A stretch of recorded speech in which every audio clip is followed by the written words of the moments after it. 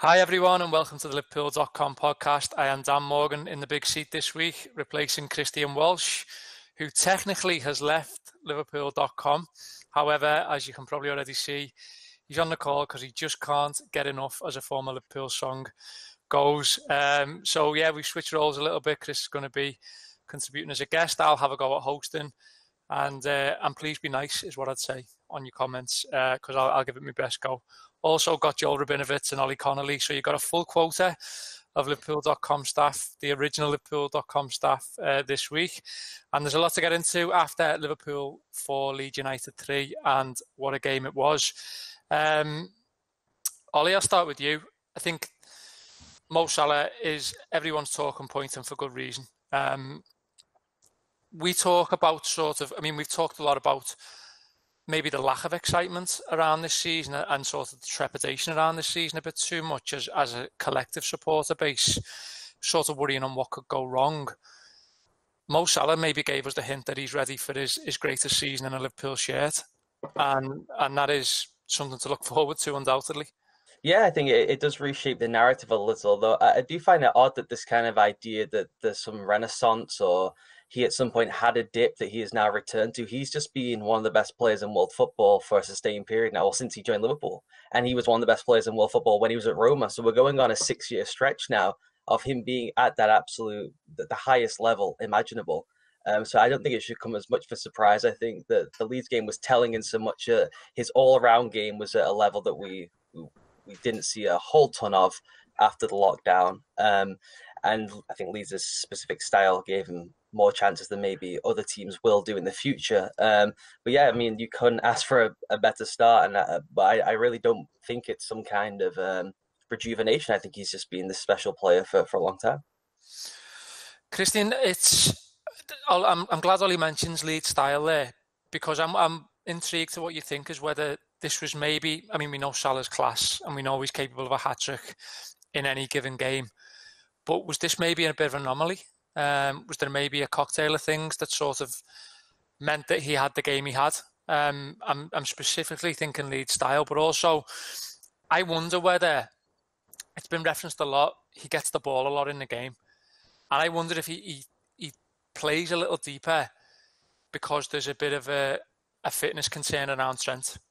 I wonder whether his starting position's a little deeper, and by therefore, you know, he's picking it up deeper. He's able to spin and run there's, you know where I'm going with this is the sort of does, does the game become a cocktail of things that sort of work in his favour? And there's two penalties in there, by the way, but the you know the performance is marvellous.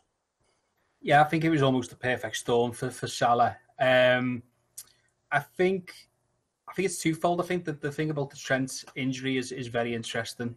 I feel he's not really had much of a pre-season. He comes back for England, but that's not really it is competitive football, but it's not really competitive football. But Liverpool are clearly intent on on managing his his, his, his workload, and you can see that in terms of how Liverpool sort of play away from Trent, not necessarily away from him, but I mean, I think I, I said at half time Liverpool has had nine or ten shots, and and there was not one single key pass from from Trent Alexander Arnold, which is just absolutely bananas, really, when you think about the, the output that he had last season. He obviously ends up with a few key passes, uh, particularly from dead balls by the end of the afternoon. But I think there's there's an element of his of his fitness. There's an element, and and look, it wasn't one of his best games, and I think you can you can tell by looking at him he's not fully fit. Um, but at the same time, I think there was a there was an element of if we call it the Benitez blanket, and what this is is Leeds clearly felt right. We're going to stop Trent Alexander-Arnold and Andy Robertson from doing anything on the ball, which is absolutely fine. You can you can put your players on Trent. You can close off the space. You can make sure that he's basically penned in. But then that just leaves Mo Salah ahead, just with an absolute free reign. And it's absolutely fine that you've managed to limit Trent Alexander-Arnold to to a, to a number of key passes over the ninety minutes. But then Mohamed Salah's got got a hat trick and he's absolutely run riot. And, and for me, put in one of the probably one of the top ten performances in in his Liverpool career. It's interesting how the lack of crowd really sort of almost takes the shine off it because I think if that happens in front of a, a captive audience in front of them at Anfield, I think you, you, you, you're hailing that as one of the best ever Mo Salah performances. As it was, it was a fantastic performance. It, it was clinical, and it, it, it came about because Leeds took the decision to keep a, a, close eye on Trent Alexander Arnold, which which freed Mo Salah up to, to do whatever he wanted, to get one on one with his right back, uh, with the uh, with the left back, and you know, sort of said the Benitez blankets. It's one of those where if you pull it up and you, you cover your chest, then your toes are going to be sticking out at the end. And I think that's what it's going to be like playing against Liverpool this season, because you can stop one, you can stop one threat, you can try and stop two, but you can't stop three or four. And with Trent, with Robertson on, on, on either side, you've got Mane and Salah obviously doing what they do. And then, of course, through the middle, now you've got someone potentially like Naby Keita. Um, he looked quite sharp in the first half. It's, it's going to be almost impossible. It's, it's sort of a pick your poison. How do you want to sort of lose your football game? And uh, Lee sort of chose, you know, sort of death by Salah. Right, prepare yourselves, everyone, because Joel Rabinowitz has got a new microphone. Um, it's it's a wonderful thing. I know everyone on YouTube will be overjoyed at the fact. Jolie, he seemed. What struck me is he seemed to be enjoying himself, and I think there's a there's a body of evidence when you watch Salah over the last two years where he looks just look looks at times like he's carrying a huge burden. Maybe that's on himself or that's on the expectation that he has a sort of the pillar of Egypt, if you like. Um, but what really struck me and stood out was I mean, me and Ollie were talking about it post game when, when we did a Facebook Live, but even the 1 2, the continuous 1 2 in the second half mm. between him and Mane, and they're just laughing about it come come the end of it. And, you know, we're pulling our hair out, but but they're laughing. But he did he did seem to be enjoying himself. Definitely. Um, I think Salah, you've always got to be careful trying to describe or, or, kind of read into players' mentalities from outside because you never know yeah. what they're all thinking. But I think Salah, more than most, his body language can be quite telling. Um, there's been periods in his Liverpool career previously where you could tell he's not quite happy with himself or was maybe sort of slight things outside that were bothering him. There was a point at which, was it beginning of last season, there was sort of things going on with the Egyptian FA, which people said was maybe affecting him somehow. Um, and then he obviously played kind of almost two months of last season, which kind of gets forgotten uh, with an ankle injury. Really, Liverpool sort of carried him through that, and he played through it, but you could tell wasn't quite himself. And then obviously had the shoulder problem, uh, which carried on for the end of his first season into kind of the start of the one after that. And I think you can often tell when Salah's really on it. It, it shows, like you said, in, in his mood. Um, and I think there's there's few players in the world really, but definitely not in Liverpool squads who who feed off scoring goals like that. And you know, once he gets his his second goal against Leeds, uh, obviously unbelievable strike, but his game after that, it felt like he was, like you said, playing with a weight off his shoulders. Um, there was a, a point, I think it was late in the first half, where he picked up near the halfway line and just sort of went past two or three players um, with a neat bit of skill. And it's something I think when Salah's confidence is a bit low or he's frustrated with himself, he sometimes doesn't take players on. He kind of second guesses himself and takes the easy pass not all the time, but when when he's really on it, that's when you can sort of tell. And I thought it was interesting uh, after the game. That was some people saying, you know, we've got 2017-18 Salah back, um, and I see what they mean in terms of the goals. Obviously, scoring three, um, but I think even though I don't expect him to hit 44 this season, obviously, be delighted if he does. But I almost think he's become slightly more of a complete player since that first season for Liverpool in terms of his all-round contribution he scored a obviously ridiculous amount of goals in that first season, but it often felt like he'd be kind of on the periphery in games and then pop up with a moment, and then you wouldn't see him again after that. Uh, whereas now, increasingly, even though he's not scoring at quite the same rate over the last couple of seasons, his all-round contribution uh, is another level for me, and I think you saw that against Leeds all the way through. He just the Trent thing definitely played into it, but every time he had it, it his touch was on it, his his passing, decision making was all there. So I think in terms of what's to come with these two games against Chelsea and Arsenal for him to kind of get off to that that flying start is massive. I think sometimes Ollie, just a player who win who wins things at the highest mm-hmm. level can do so much for them. You know, it's almost a concept that he gets to sort of just be the best Mo Salah he wants to be now, and and that sort of drive to go and win the Golden Boot is is enough because he knows that Liverpool at the business end are going to be in and about it. You know, they yeah. have enough faith in each other that, that they can. And the other thing to mention as well is that I think Joel makes a really good point. But, you know, I, I wrote this piece on Liverpool.com the other day and I wasn't being salty. But if Liverpool get half of Manchester United's penalties, and he is Liverpool's penalty taker this season, then you know there's an extra sort of nine goals to his game, if you like. Yeah. I mean, he scored. We can have we can we can joke about it, but he scored six out of his last six penalties for Liverpool. And if he decides he's taking them and putting them away, and Liverpool get more than the six they got last season, then he's got every right to think that he can he can sort of get towards the forty mark. And obviously, take Joel's context that he is a better rounded player. Yeah, I think Joel makes a great point because he has these kind of two ebbing and flowing personalities almost. He has those ones where he's almost upset with the manner with which he scored the goal. When he gets like angry in a celebration, like it wasn't quite what he wanted to do, but and it went in the net, that's not good enough. And there's the smiley assassin element, which is like when he's clearly having fun, oh my god, I'm so brilliant and this is so easy. I love doing this. This is this is dope. And I think Mane is one way all the time, and then he kind of flips between the two of them, and you kind of can just sense it when it's like, oh, he's on today, like Joel said.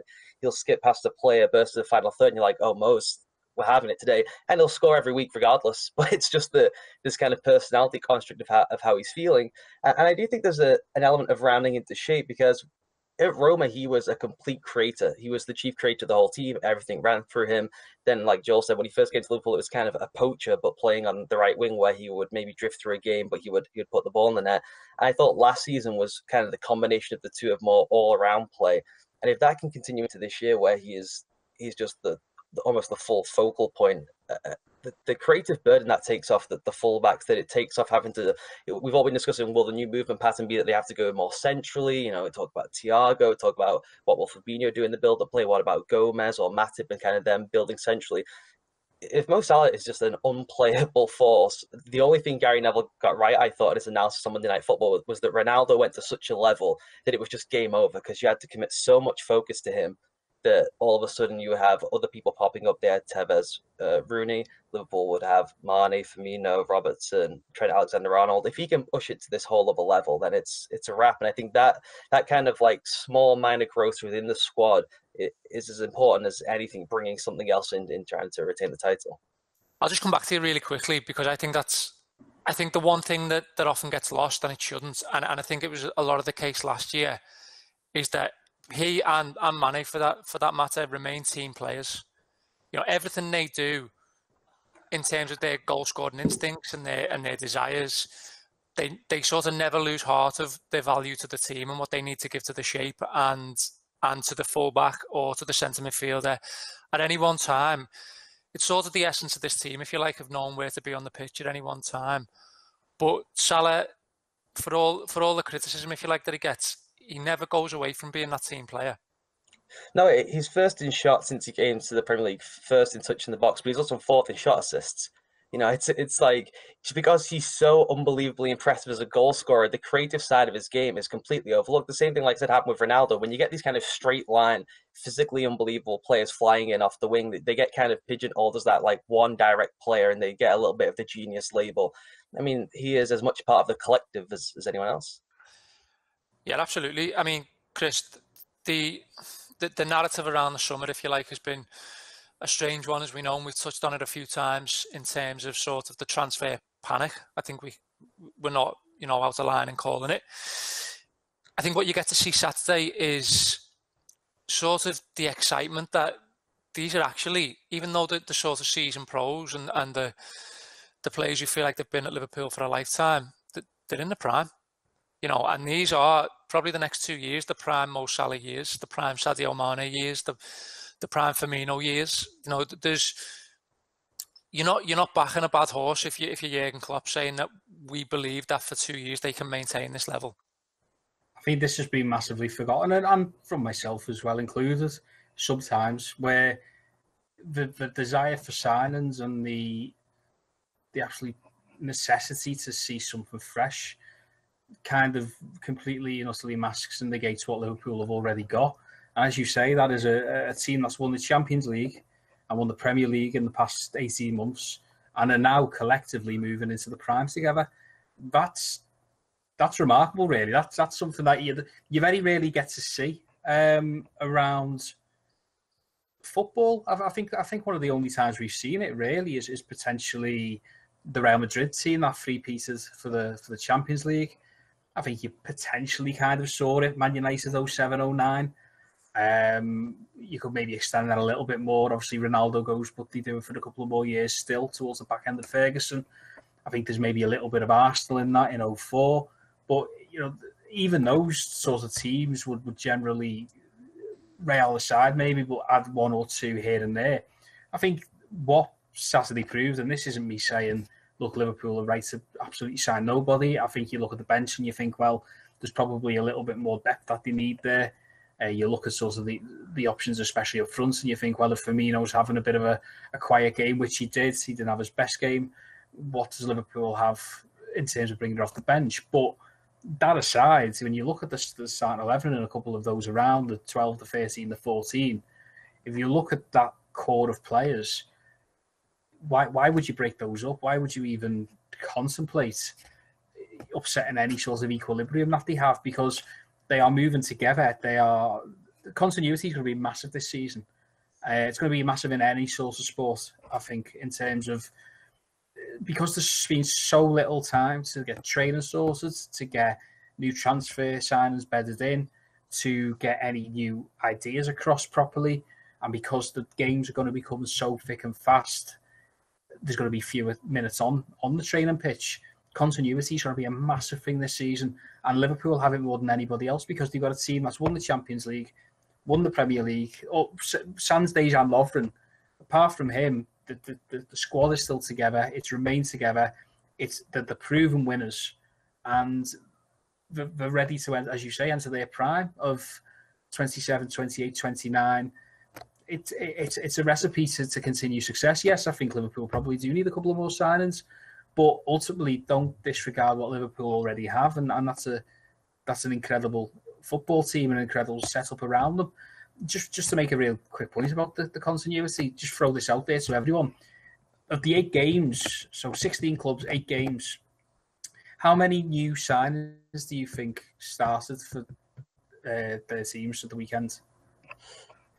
Collectively? Collectively. So Liverpool was zero, obviously. Um, and I'm not counting somebody like uh, Ben White, for example, because he's yeah. been at Brighton before. I'm not counting somebody like uh, Soucek at West Ham because yes, they signed him on a on a on a permanent transfer, but he was there last season. How many new arrivals have uh, started over the weekend? So under ten?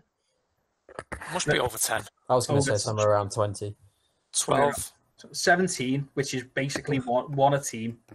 Yeah. Um, Liverpool and West Ham zero, West Brom, Leicester, Sheffield United, Wolves, and Brighton one, um, Leeds two, Spurs two, Chelsea two, and then Newcastle and Everton three. And to be fair, Newcastle and Everton more than most teams needed the signings, and, and, and you're not seeing Sigurdsson starting over Doucouré, for example. What we saw there this in, in this opening weekend is very much a as you were. It's almost a continuation of the season before. Now, okay, Liverpool have had a little dip post lockdown. They had a little bit of a dip post title win, but ultimately, it's the same team that has won the Champions League and won the Premier League. And if we're going by the Liam Gallagher mantra, as, as you are, as you were, then Liverpool have got to be sort of bang up there once again. Well, one thing on that quickly, Dan. I know you're big on this. These people are pathological winners. And I know I'm not a pathological winner. So I don't know how to get to that mindset. When you see Alex Oxlade Chamberlain say, We are not discussing the championship, I've never even heard anyone mention it. I, that, I don't think that is PR spin. I think that is genuine. I think these people are such high achievers, particularly someone like a Salah and a Klopp. I think they, they their brain frequency and how they're thinking about this is just different to how we would even look at it outside. Yeah, absolutely, absolutely. I mean, I mean that's it, Joel. I mean, to start wrapping up on Salah, I think I think it's important to distinguish between when we talk about transfers. We're not talking about cover we're happy to sort of, I think collectively, uh, if I'm talking for the group of, of us, uh, we're happy to say, yeah, Liverpool could improve in terms of getting cover for, for the front three, getting cover for certain positions. We would have liked as much as anyone for them to have done some business there. There was an insinuation in, in certain quarters, though, in the summer that, you know, maybe the fire won't burn.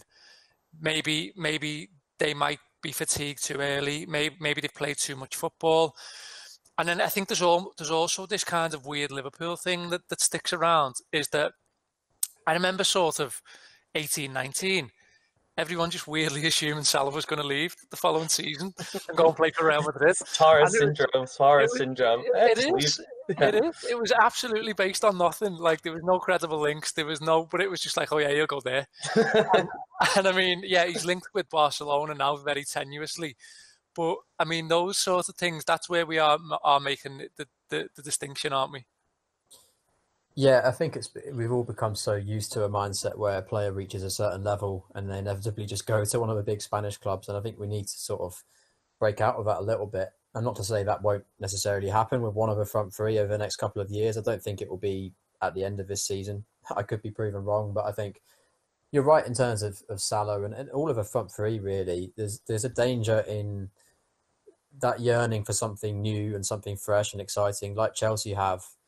Um, it can sort of cloud what you have there, which is to be enjoyed um, as long as they are. And you know, like you watched Chelsea last night, and I think they'll go on to have a good season. I fully expect them to finish top four, probably top three. Um, but that that's going to take time to gel. You've got your players like Havertz and Werner, and I know not all their new signings played yesterday, but that is that is one jigsaw Lampard's got to sort out there. And I think Kristian's point about continuity is massive. It was the same last season as well. Um, the only worry, I suppose, and when we talk about the, the cover issue, is the reason you would want signings is almost is to keep the front three in, in peak form and fitness for as long as you possibly can. And whilst I think desire and, and the, the the wanting to win another title is not an issue in terms of kind of it's not like they just won one and they're going to be satisfied. But I think it's there is a lot of football and there has been such a short break, not just kind of the, the, the gap that's just gone between 1920 and 2021, but you've got to remember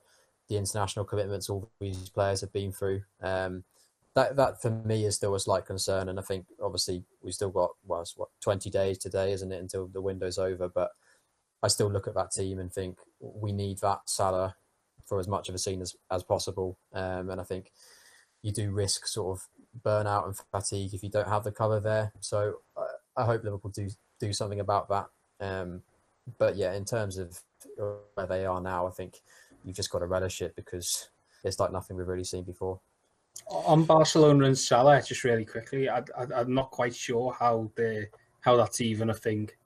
What, what, what, what, a Barcelona, they got no They would have to basically bring the Camp Nou to Liverpool um, as part of the deal and, and stick it in front of Bramley Moore. So that's the first thing that Birkenhead sees. Um, that's the only way I can see any sort of Liverpool Barcelona deal for Mo Salah happening is basically if you give us your stadium. Yeah, it was. It was. It, it isn't happening, by the way. That's not me saying that. No, don't quote me. Anfield's smoke, smoke, smoke, and, smoke and mirrors was um, was kind to the rumor. Put it that way. I hmm. mean, just on continuity and Ollie's point of, of pathological winners, Chris.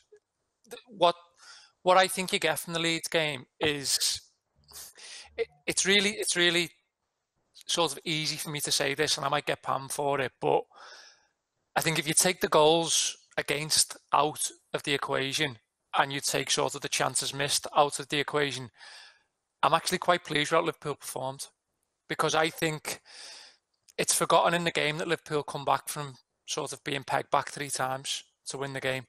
And I think when you're sort of asking those existential questions about is that fire still there? Can this team go to the well? It shouldn't have to. I need to make that point. It shouldn't have to a lot of the time. It makes life difficult for itself.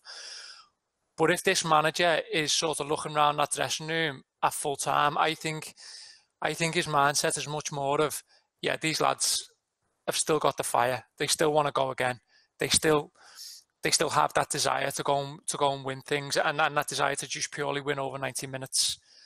That being said, there is a, there is an issue around defending. We can't get away from it. Um, Andrew Beasley wrote an excellent piece for us this week on Liverpool.com. I think it went out yesterday, um, and he highlights the the problems that we've had with with defending. I mean, the Leeds game's really interesting because their xG ranged from 0.4 to 0.6 which means that basically every shot they had went in, and really, really, uh, from what Andrew says, there's still fewer than 50 examples where that actually happens um, with an XG like that.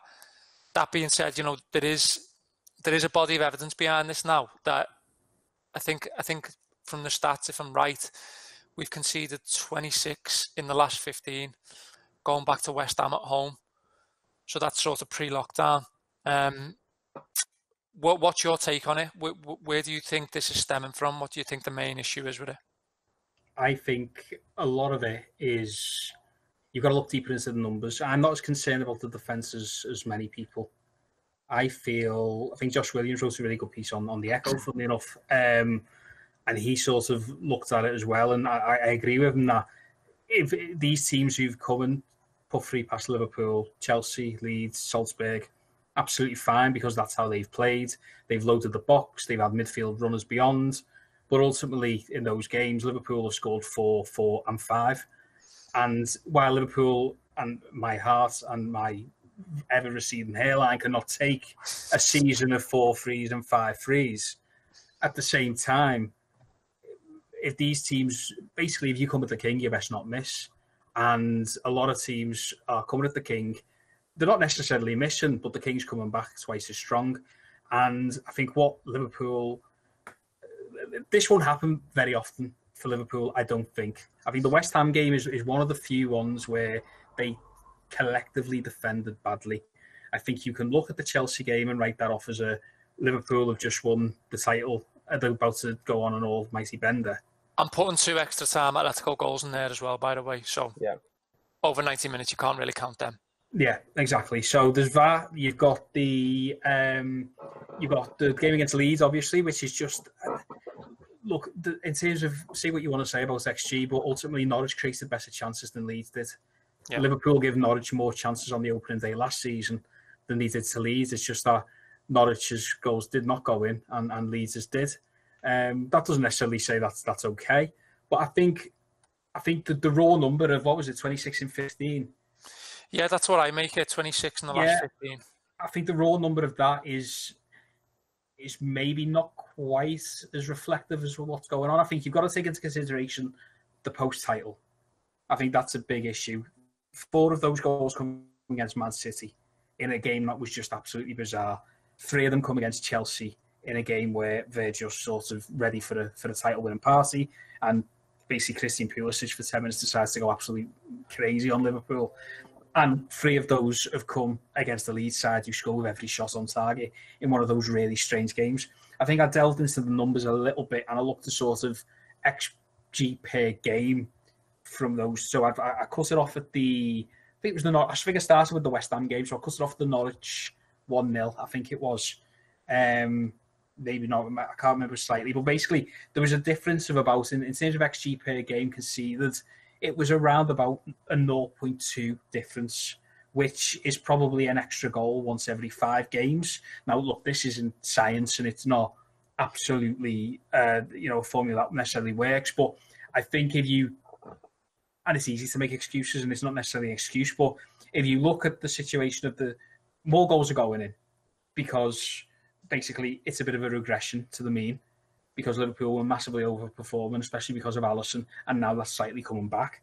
I think, secondly, the four against City, the three against Chelsea, and the three against Leeds have to be taken into consideration. Likewise, as you say, the two extra time goals uh, against Atletico. There's a bit of an asterisk against all of those for, for one reason or another. Um, and then, yeah, finally, I just feel like it's it's it's they're not actually creating. They're not actually. I think you could write a fair bit of this off as a lack of concentration, as maybe a, a, little bit of I don't want to say arrogance from Virgil van Dijk, but just a, basically Liverpool's defence have been on it for so long, so so well, and if that just slips for five ten seconds, then it's going to sort of have a big impact on on the, the, the overall figure.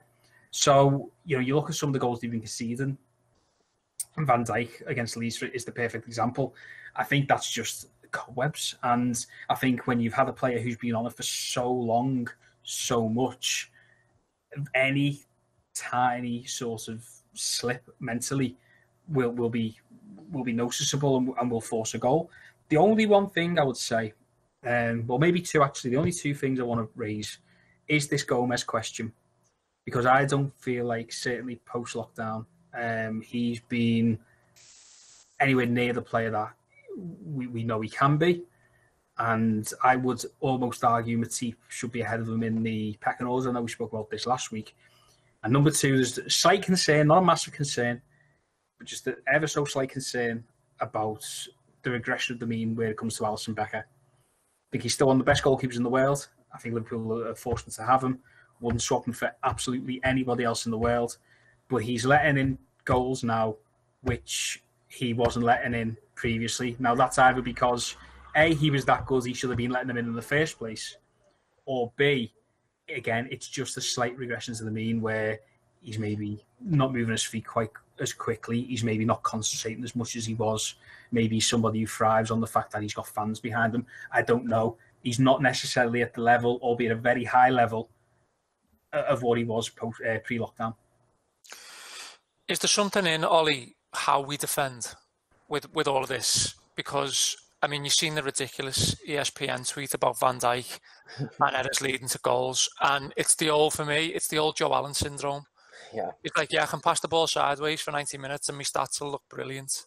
But how much have I actually impacted? You know, Liverpool's defenders can have the argument. Yeah, I can sit in a low block and win ninety-five percent of aerial duels and and get five out of five blocks and clearances in a game. But Liverpool defend in such a high wire act literally, you know, they are Liverpool. Liverpool will.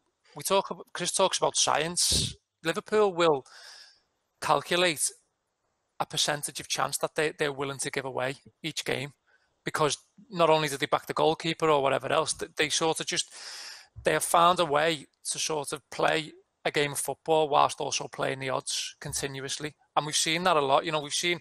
I, remember Watford at home last season, I think, and I'm in my seat in the Kop, and I think it was someone like Doucouré was bearing down about 18 yards from goal, and Van Dijk was just telling him to shoot. You shoot from there. You shoot because I back the keeper. Here's the angle I'm giving you to shoot. You haven't got the whole goal to aim at, but you shoot from there, and I'm absolutely fine with it. And there is something in just sort of a mistake to a Liverpool defender defending in this system is a lot more deadly to, you know, James Me, uh, James Tarkowski or Ben Mee. Yeah. I don't think there's a systemic flaw. It's not like they can see the same type of goal over and over again. And if you if you look at the Leeds game, they made tactical flaws in the first half that we covered on the site earlier in the week that they corrected for the second half. There, was a massive difference in the way they defended, just the, the two centre backs. They were basically putting Joe Gomez in a lurking role in the first half. And, you know, Klopp spoke about how bad he thought the defensive line was. They were trying to have him sag off a little bit deeper and sweep up behind it. They pushed Virgil van Dijk on the ball so much higher up the pitch than Gomez was. And it was a, it was a whiff. They, they got it wrong. In the second half, they went back. To, usually they just work in tandem. One goes, one stays. The classic type almost Terry Carvalho stuff. They just kind of instinctively understand when one should go. Like you said, they go one on one. They just kind of get it with each other. And they did that in the second half, and then they pushed the defensive line so much higher up the pitch. You can see there's the Wyscout has great tracking data of how high the defensive line is and it just creeps up and creeps up, and they just pushed it higher and higher and higher until they suffocated Leeds, and that's their style. And I think Chris nailed it at the end there. Where I thought it was a blowing off the cobwebs type thing. I think Van Dijk is not going to make those kind of individual errors all the time. I thought Gomez was poor in the first half. I thought he was really good the second half. I thought he switched on. Uh, he, he seemed engaged, and I think it was really like, okay, now we're back at it. That was really intense, like you've mentioned, Dan, throughout the Leeds game. They really fit. They're just on you right away, and it's like, okay, I have to re-raise my level to where we were at post lockdown. I think they, I think it was great. I think they needed it. I think it was a real wake up call. And once uh, Alexander Arnold gets back to full fitness, and they can kind of work on the shape more, as Klopp mentioned after the game. This isn't a thing you do you just switch on on and off. You know, they have to work on this now. The form have to get back um, and, and just drill it and, and go and go. So I, I, don't see any kind of systemic flaw that I think is an issue. They do not concede the same kind of goals over and over again. Leeds created decent chances, moments of individual brilliance, and, and took them. Where are you with it, Joel? It, it was it was very sort of pre-seasony still, in in a sense, and maybe maybe we just have to come to expect that. Yeah, I'd say I'm, I'm, slightly more concerned than some of you about it because I think Ollie's point about not being able to just turn this on and off like a tap is is crucial here. Um, it's been a long, long time. I know the three months without football kind of warps everything, but it's been a really long time since Liverpool were regularly keeping clean sheets. Um, and a lot, it's it's not just the volume of goals they've conceded, but it's it's the ease with which those goals have been scored uh, in different ways. I think back to games like West Ham at home, uh, which we've already mentioned here, but that that one was just it felt like all they had to do, I think it was the equaliser from Fornals in the second half there, was basically just, it was quite a similar goal to Leeds' third actually at the weekend across from the right hand side, which basically all they had to do was was kind of progress up the pitch and kick it into the box, and the guy seemed to have unlimited time to shoot. Um, even the Atletico one, I know Adrian's role in that has, has, been spoken about a lot, but the way they got to that position on the pitch felt too easy. Again, with the Leeds first goal, it was just one long punt and they were basically in. Um, again, Trent and Gomez should do better, but the ease with which the, the midfield was bypassed, I think that perhaps is an underrated problem here uh, in terms of Liverpool's defence because it's, it's, again it's been a long time really since Liverpool had a kind of cohesive, solid midfield three, or at least a kind of regular one. It's been a lot of chopping and changing, especially since the restart with Henderson's injury. Fabinho's kind of had a, a very strange 2020 in terms of form and injury. Uh, we've seen flashes of him at his best, but not kind of a prolonged period. And you think when Liverpool's defence has looked most settled under Klopp, it's been when Henderson and Fabinho have both been in the team together, probably with one out and for a sustained period of time. And you haven't had that at all this entire calendar year, really. Uh, you've had Henderson, obviously had that brilliant period when Fabinho was out injured, and then his injury almost came when Fabinho was kind of back in form, and you've had Naby Keita coming in out of the team, Curtis Jones getting bits and pieces here and there, and I think that that was really evident against Leeds that the, there was a lot of space as much as the individual defenders, Van Dijk and Gomez particularly, should have done better and can do better. There was an awful lot of space uh, where it didn't take Leeds to do very much to sort of be in right at the back four. So, yeah, that does slightly concern me, I have to say, against Chelsea and Arsenal. Um, again, there was something similar in the Community Shield. The first goal was basically one big switch, like the Kalvin Phillips pass. I think it was Saka played that one to Aubameyang for the first goal in that game. Um, so yeah, I hope, and, and, I think it's quite possible that it does come with time and once players sort of gain their rhythm and, and get back into the stride. But yeah, it, it would be nice to sort of see Liverpool not giving teams the hope. I think again because Leeds it felt like Leeds were never out of that game really. All right, um, we're going to wrap up soon. I just want to run through. So on Liverpool.com last week, before the season kicked off, we done 15 predictions for the Premier League season, and seeing as we're one game in, I want to just go through some with you and see if you're still sticking to your guns. So, so first and foremost, let's go with the big one: title winners. We all bar Kristian had Liverpool. Chris had Man City. Are we all still in agreement with our original choices there? Yep. Yep. I haven't seen anything from Man City to uh, to suggest that they're not going to win the league. okay. Um, the top four predictions were predominantly Liverpool, City, Chelsea, and Manchester United. However, I went Liverpool, Man City, Chelsea, and Arsenal. And I will invite all three of you to change your mind now because Arsenal will be this season's dark horse. I am telling you now. They look good. They look really good. I think Aubameyang is is capable of, a, of having a Suarez like season, a real talisman, a talismanic season. I feel the defense is looking a little bit better. I feel there's more of a co- cohesive plan there. I, I back Arteta they've, they've figured out who the number one goalkeeper is. I just feel like, and, it's it's crazy because we grew up with, with Arsenal winning things, but I just think it's really Arsenal to not to, to, to throw things away, and I can just see Arsenal going on in a game streak without a victory, and all of a sudden they're down in eighth, and Gunnersaurus is, is on the bench.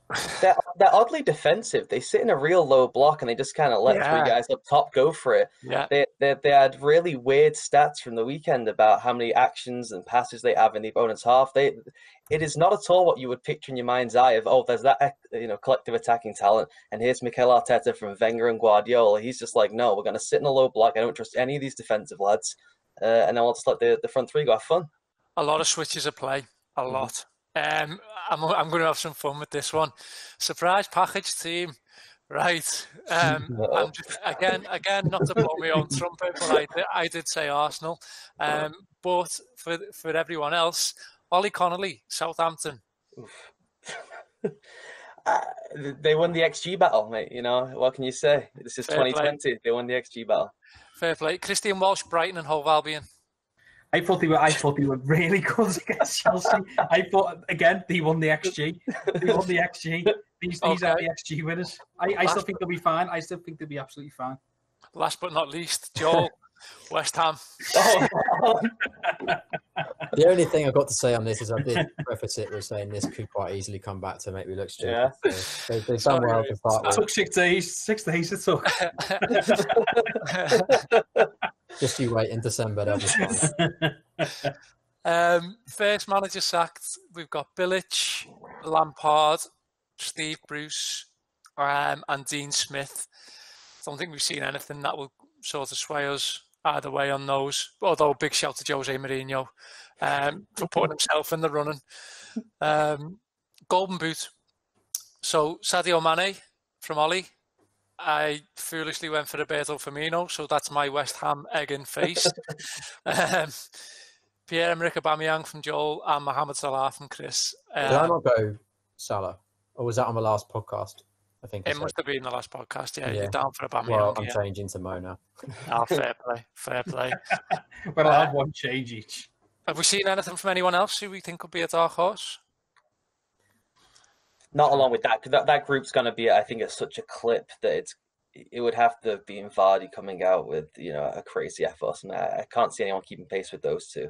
I'm intrigued yeah. by Vardy in general. Uh, you just assume that every season is going to be the one where it eventually stops. And I know it was it was penalties, but even still, you wouldn't be surprised if he's somehow up there again, even though he's was he 34 now.